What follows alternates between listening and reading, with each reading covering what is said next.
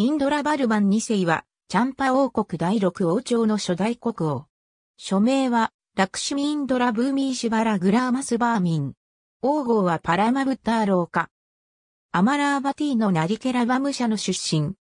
チャムデン賞に登場する女神ウロジャの子孫を称し、先代のビクランタバルマン3世に子がなかったために不足意した。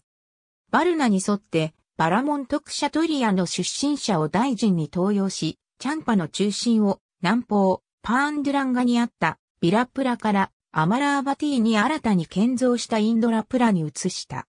861年12月に、唐のアンナントゴフに侵攻した。